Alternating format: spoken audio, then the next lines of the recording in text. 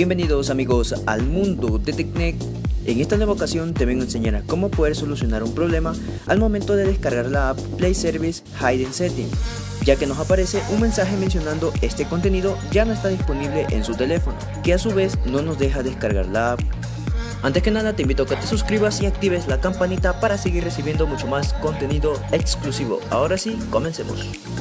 Muy bien chicos, cabe mencionar que si nos aparece este mensaje al momento de descargar esta Play Service Hidden Settings es porque estamos intentando hacerle un bypass o quitar la cuenta de Google a este dispositivo, que si en tal caso deseas saber más a fondo acerca de este tema, te estaré dejando la siguiente lista de reproducción por aquí arriba relacionada a los bypass, para que vayas y la cheques.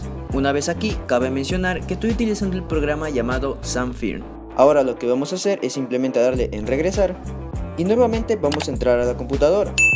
Luego de esto, en la computadora lo que vamos a proceder a hacer es a cerrar el programa. Cerramos esta parte y luego de esto lo que vamos a proceder es entrar nuevamente a la carpeta que aloja el programa. Y nuevamente le damos clic derecho ejecutar como administrador. Ahora vamos a esperar hasta que se termine de abrir el programa. Y una vez abierto vamos a entrar a la parte de Android Tools, luego a Bypass FRP y una vez aquí vamos a seleccionar la opción que está por defecto, en mi caso Bypass FRP Open y YouTube.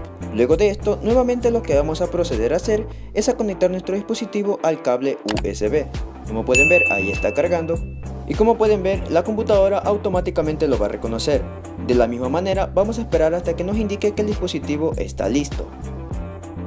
Una vez listo le damos simplemente en Auto Bypass FRP método 1 y de igual manera vamos a esperar hasta que la parte última diga Operation Done.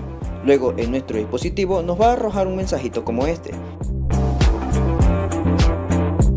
Simplemente le damos en ver y una vez que nos redireccione hacia la página principal de YouTube, lo que vamos a hacer es entrar a la parte de cuenta, luego a configuración, acerca de y aquí podemos entrar por estas dos opciones, tanto condiciones del servicio de YouTube como política de privacidad de Google.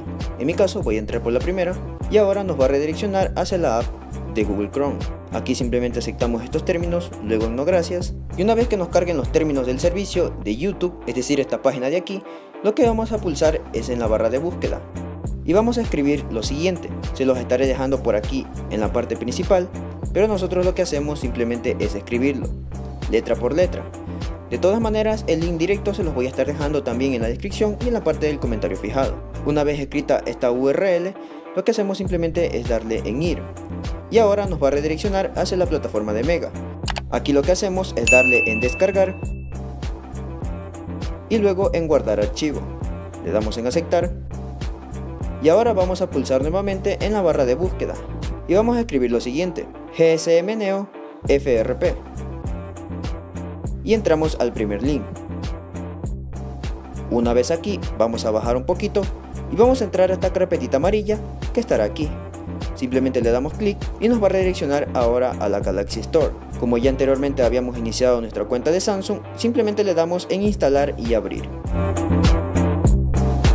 Una vez que se abra automáticamente, vamos a entrar a la carpeta llamada Download o Descargas y aquí estará el APK.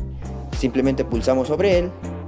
Aquí nos menciona que tenemos que aceptar los términos para poder instalarlo. Simplemente le damos en continuar, luego en instalar.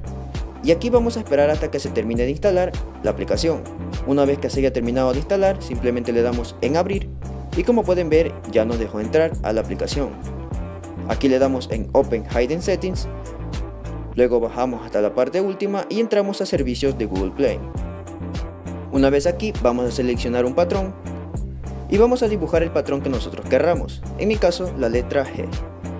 Confirmamos y una vez que nos aparezca esta pantalla lo que hacemos rápidamente es regresarnos absolutamente del todo hasta la parte de inicio del dispositivo.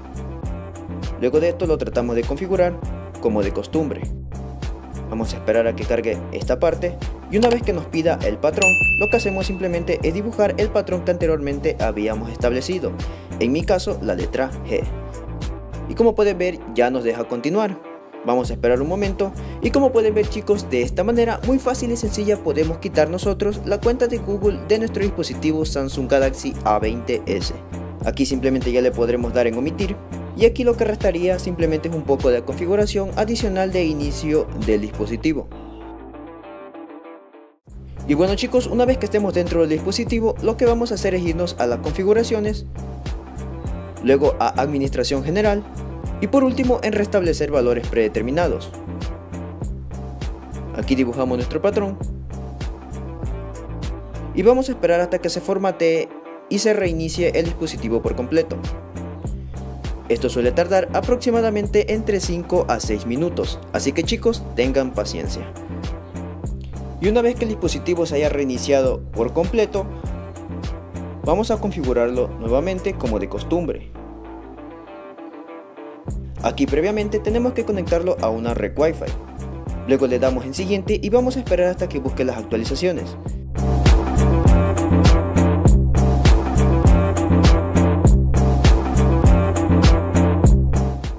Como pueden ver chicos, ya de esta manera podemos quitar esta cuenta de Google, ya no nos aparece. Simplemente le damos en omitir y tratamos de configurar el teléfono nuevamente como de costumbre. En mi caso voy a adelantar este proceso. Y una vez estemos dentro del dispositivo, en mi caso voy a enseñarles qué tipo de versión cuento con este dispositivo y la revisión del parche de seguridad. Voy a entrar a la parte de acerca del teléfono y como pueden ver chicos, cuento con una versión de Android número 10 y la revisión del parche de seguridad es la del 1 de marzo del 2021. Hemos liberado totalmente esta seguridad. Muy bien chicos, esto sería todo en este dispositivo. También te recomiendo que me dejes tu grandioso like y te suscribas al canal, ya que de esta manera sabré que este tipo de contenido te agrada para seguir trayéndolo al canal. Y bueno chicos, hasta aquí yo me quedo, mi nombre es Alejandro del mundo de Tecnec y nos vemos en un próximo video. Adiós amigos.